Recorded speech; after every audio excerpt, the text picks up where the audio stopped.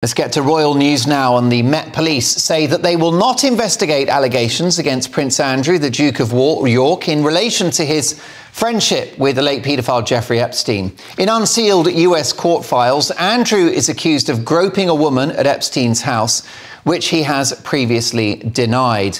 The Met said it would assess new and relevant information should it be brought to their attention. But should the Met Police be acting more quickly. Let's get the views now of former head of Royal Protection, Dai Davies. Dai, great to have you back on the show. Should the police be investigating these serious allegations against Prince Andrew?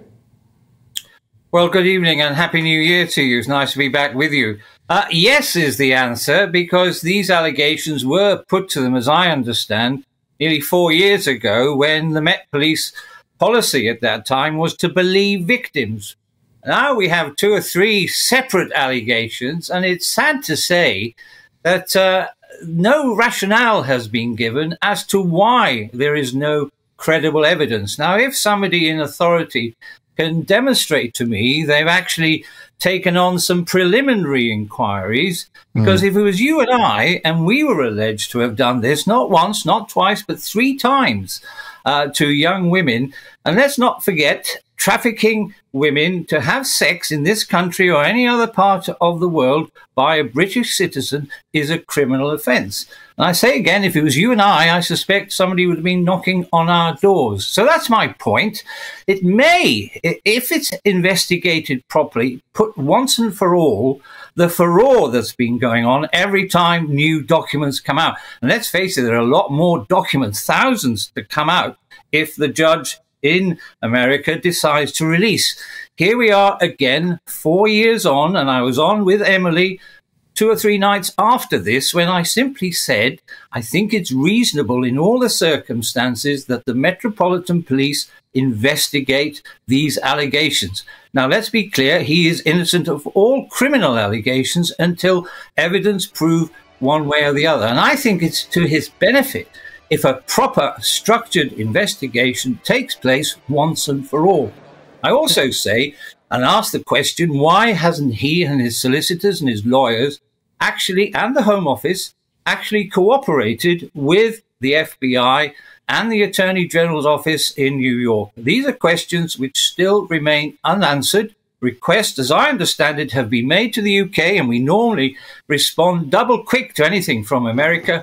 For some reason, there's an absolute silence. Well, That's well, my question. You're absolutely right. And, uh, you know, you have to worry about the smoking gun. That's not a euphemism. Prince Andrew is mentioned 69 times in 900 pages of court documents that dropped this week in the United States.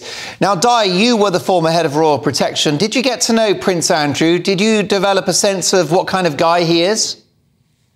No, is the honest answer, because I had teams that looked after all the senior royals. We had 22 in my time. So, no, I didn't. I had spoken to him on a number of occasions. I had met him once or twice at formal occasions. So, no, the answer is when I did speak to him, he wasn't particularly pleasant. That's all I can say.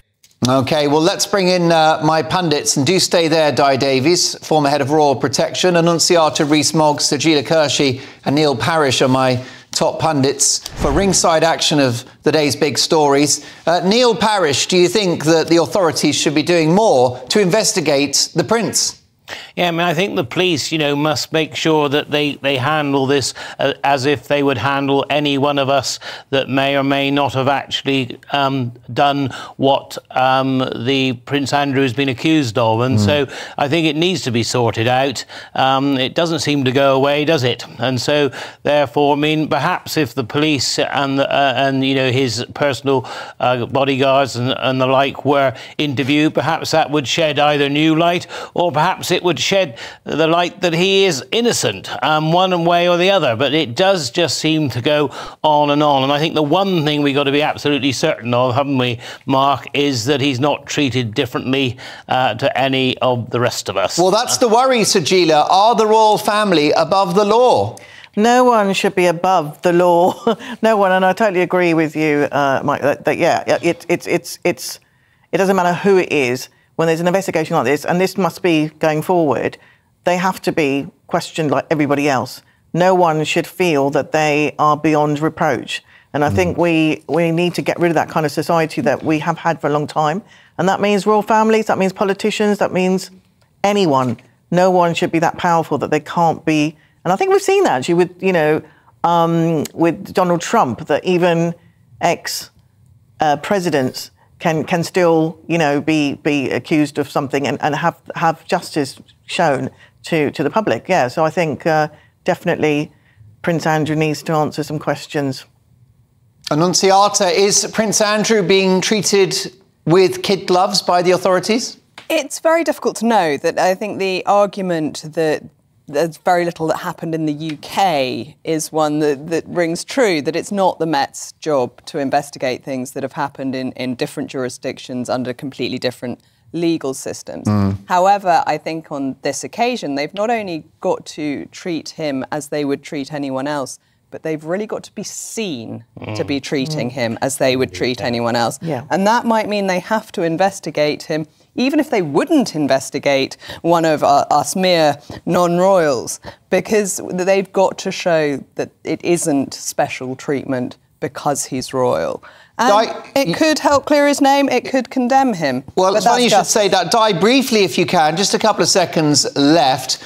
Um, Prince Andrew has vigorously denied these allegations. He settled out of court with Virginia Giuffre, his accuser, um, with no wrongdoing being admitted. But um, if he has done anything wrong, do you think he'll ever face justice? Well, I sincerely hope so. And, and as your co- other contributors say, you know, if one way or the other, we need to sort it because it's going on and on. And in fairness, questions have to be asked, not only of his personal protection officers, but wherever he went, he took an entourage with him. So there are huge questions which he has failed to answer. All I'm saying, as I would to anyone else, whether it's you and I, let him answer those questions. Okay. if I was accused of such serious offences, I'd want an investigation because then I could clear my name if I And was of- innocent. Of course, you never would be accused because you are a fine gentleman and an ex top cop. Uh, Dai, do join us again soon. Dai Davies, former head of Royal Protection, uh, with none too kind a word to say about his brief encounters with Prince Andrew. There's a surprise.